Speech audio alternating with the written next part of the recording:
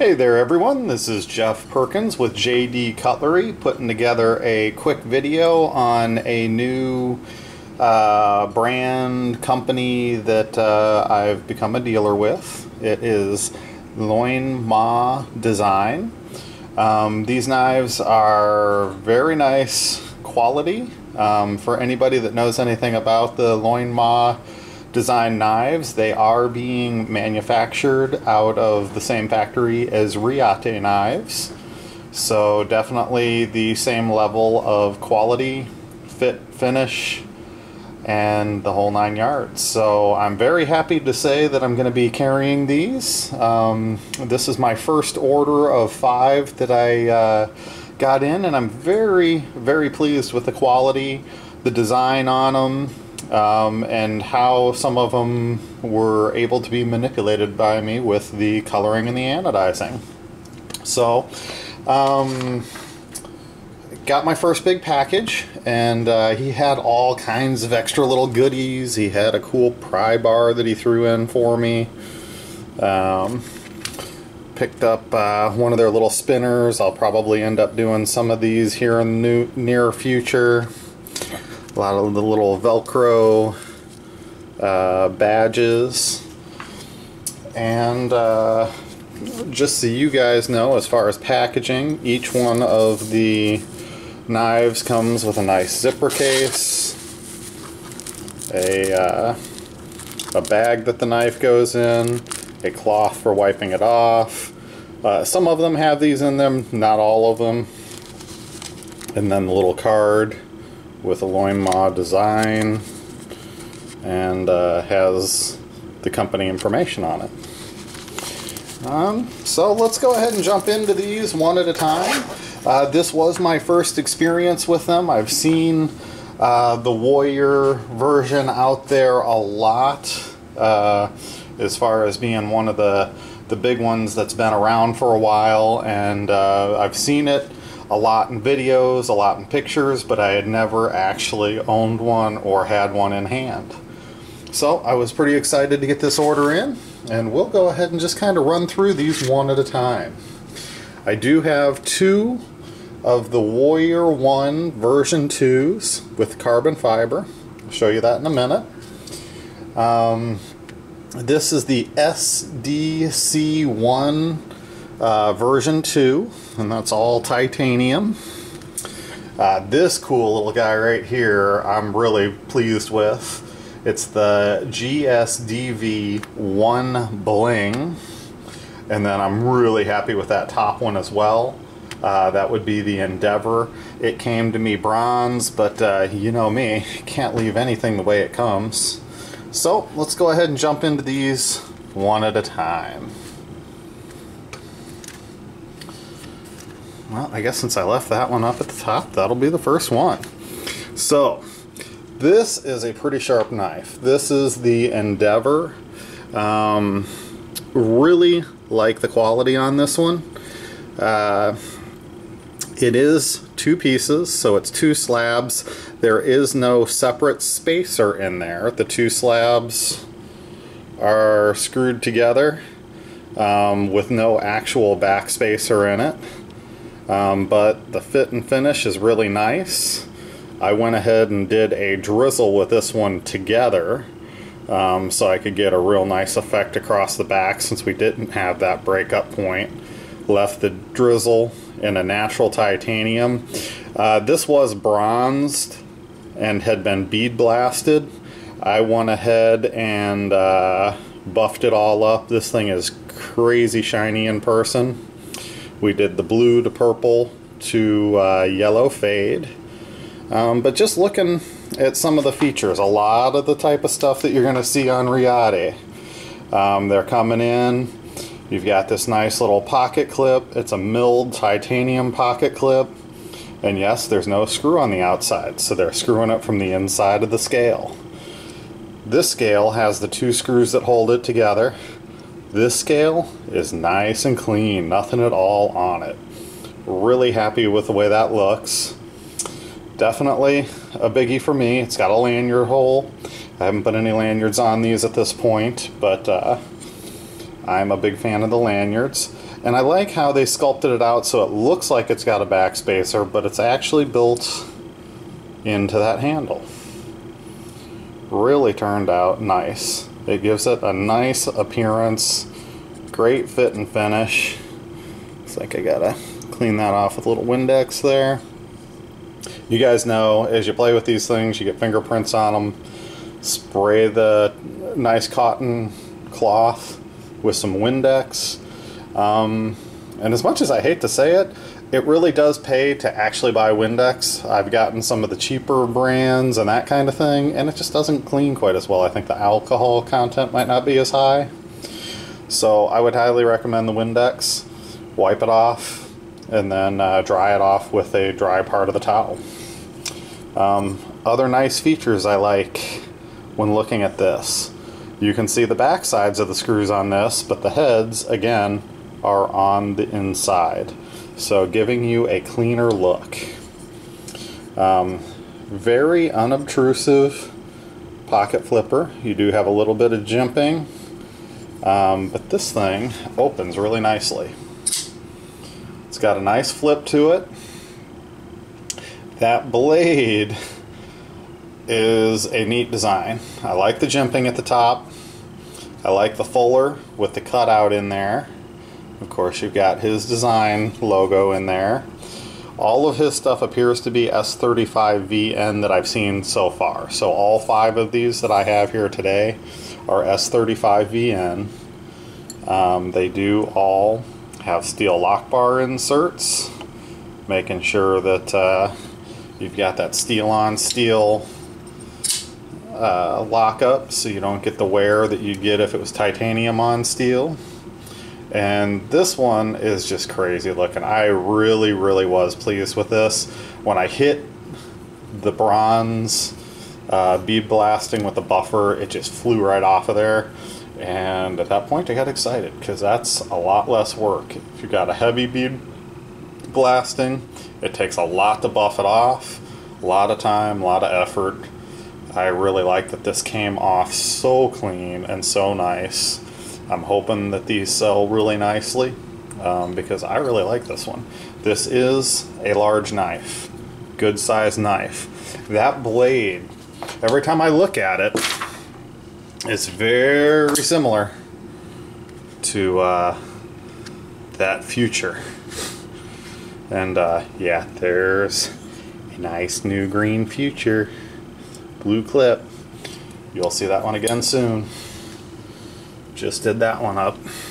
Um, I am officially now a Reate dealer as well, so you will see some of the higher end ones that I hadn't done quite so much of before in the past. I'm going to start carrying a little wider variety of theirs as well. Very happy with this knife. Good quality, nice and smooth, fits great in the hand. The bearing system on it is very nice. I believe they're on ceramic bearings and just flips like a champ. I like a bigger knife. This one fits the bill. And that was the Endeavor that used to be bronze. Let's go ahead and jump in here with the SDC1 version 2. Um, this just came a regular bead blasted gray.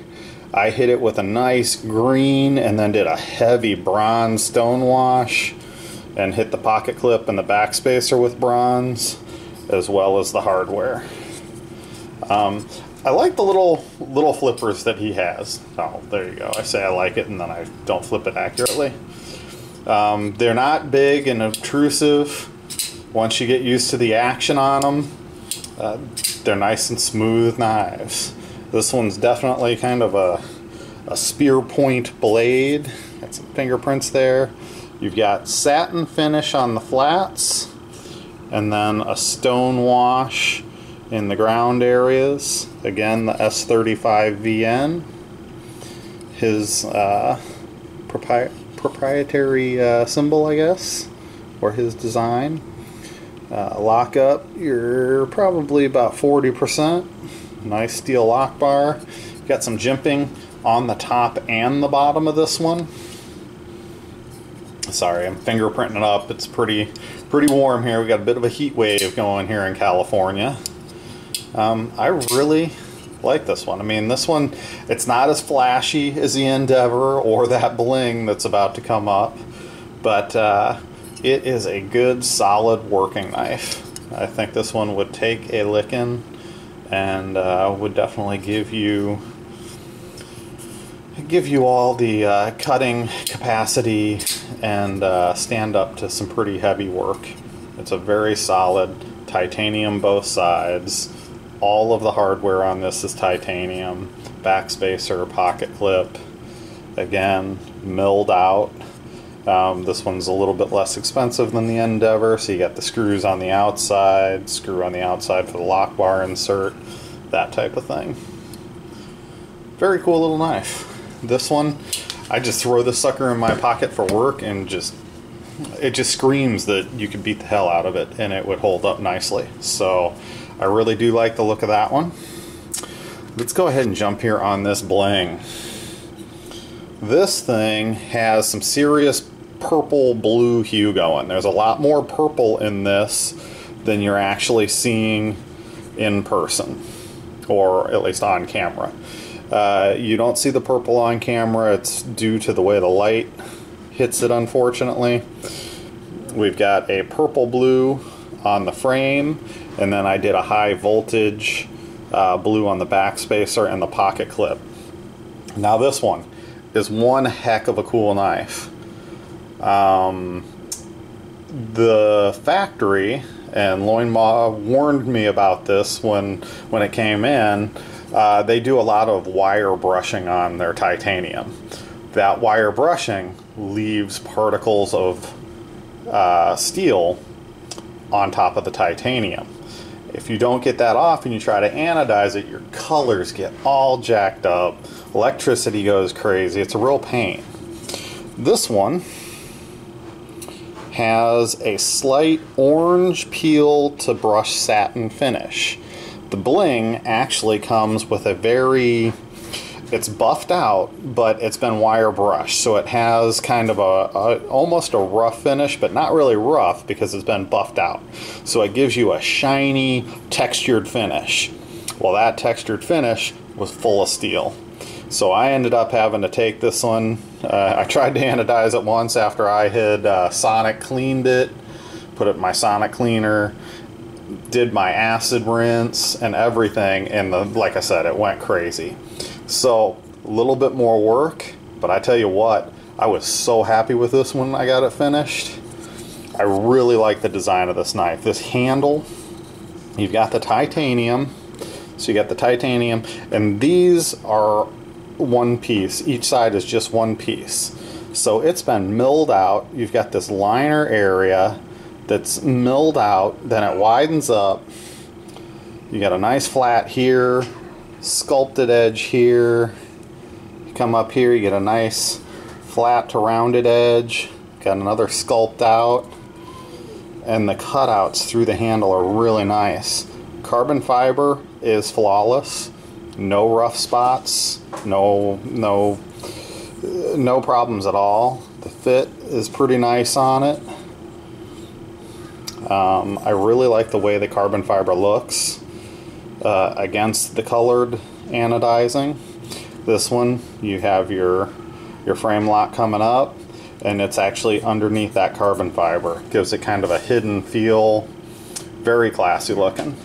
Um, this one, I was excited when I first ordered it. I was a little worried when the anodizing didn't go right, but man, once I sat and finished that sucker, I am pleased. I will be doing many more of these. Um, I believe they've got one that's got a white insert as well, but man, this carbon fiber, it's nice. Good quality. I didn't do anything with anodizing the hardware on these because, well, no, the hardware on this one isn't that, that finish. But I figured we already had enough color. It was looking good. Got your S35VN. I like that nice cutout.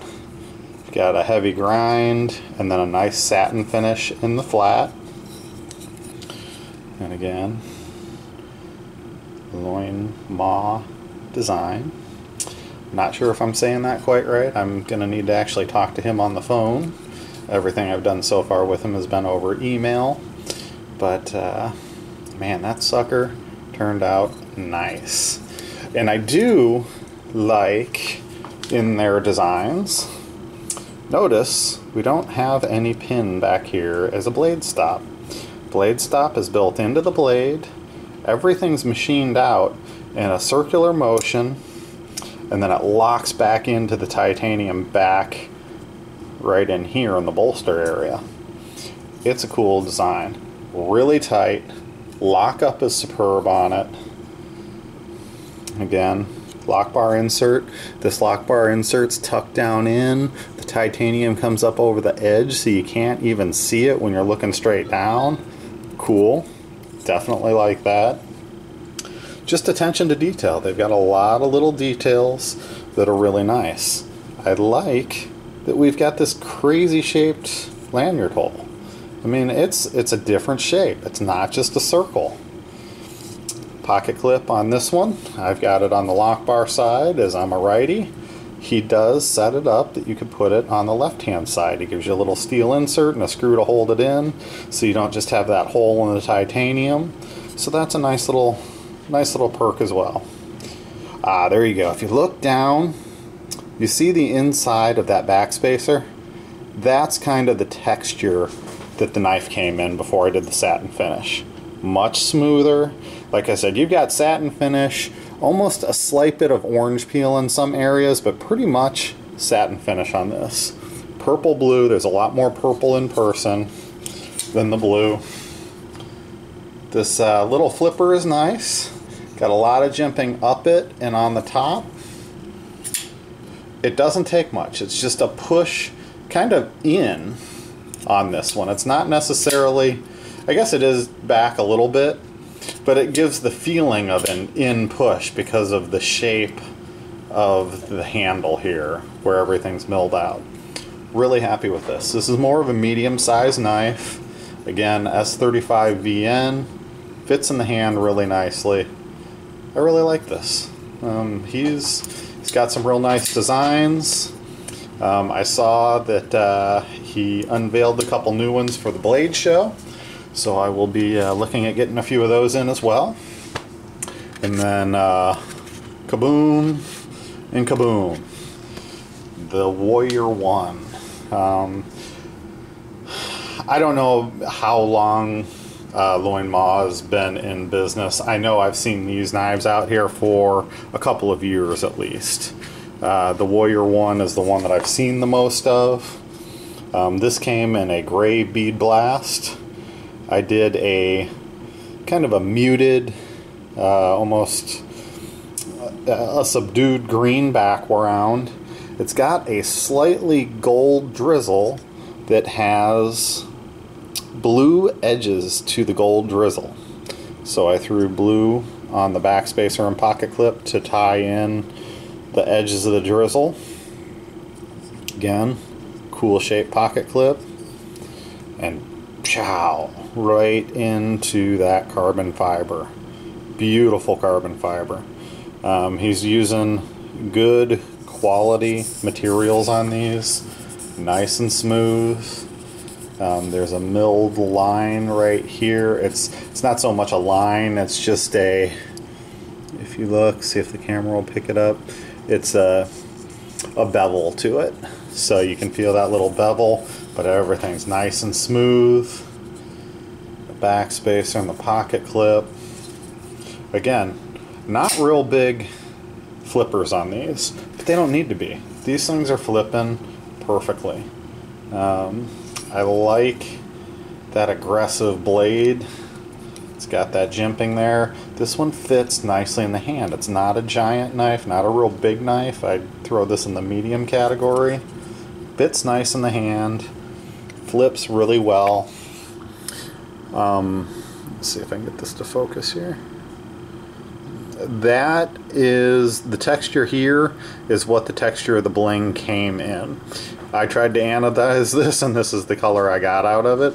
But you know what? I felt, eh, it fits this knife, so I didn't go back and buff it or anything like that. I left it the way it was. It's kind of a bronzy, bronzy look to it. So again, S35VN, good quality steel, easy to sharpen, keeps a pretty good edge, and nice flipper. Locks in solid. Titanium definitely lightens this knife up. And again, your blade has the lock bar or the blade stop built into it. So you see the blade stop coming up into that channel, locking in, and it locks in nicely. Very happy with these. These are a cool little knife. I like the carbon fiber titanium uh, combo on this one. I'm not always a big fan of it. Sometimes I like it, sometimes I don't. Lightens this knife up, gives it that cool second appearance versus the titanium. I really like it on this one. And the quality of the carbon fiber that he's using is very nice. So definitely a winner. This one went crazy, buffed the hell out of it, shined her up. Um, you got quite a bit of purple going into, I'm going to call this a watercolor because the color as I did this one just went crazy through it. You've got heavy purple through here.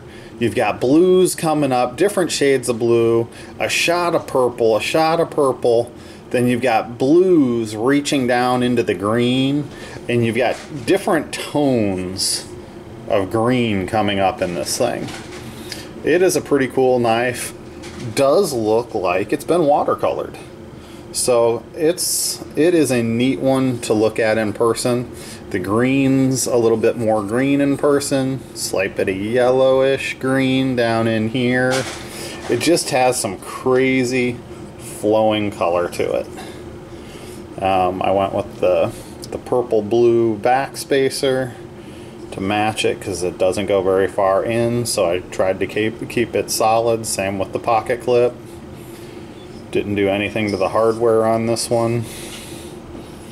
Carbon fiber again has a lot of life to it. Really catches that light nicely. Cool knife. I really like the way these fit and feel in the hand we're about 30% lockup on this one. Don't think I had any problem at all with blade centering on any of these. They were all really nice.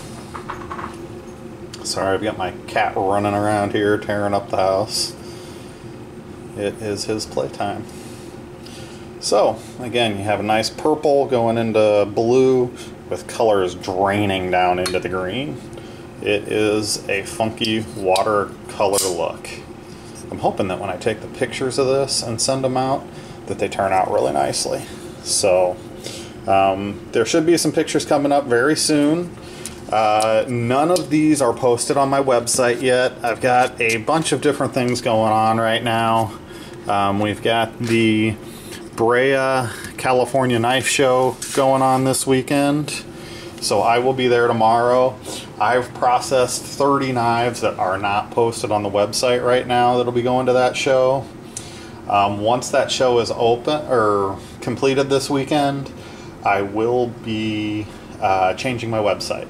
It's still going to be the same at the www.jdcutlery.com, but we're going to go ahead and flip over from a web page to more of a storefront um, that hopefully will be easier for you guys to look through and see what's available, what I've got in stock, what's coming, that kind of thing.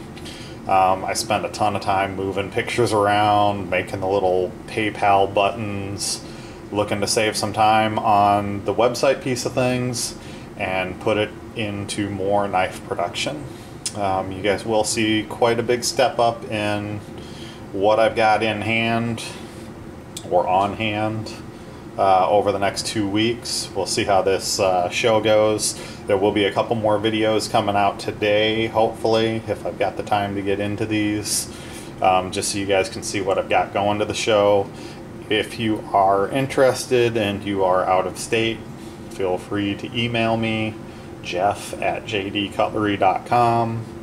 and uh, they don't necessarily have to make it to the show. I just like to have as much new stuff when I go to a show as possible. Well, thank you guys for tuning in.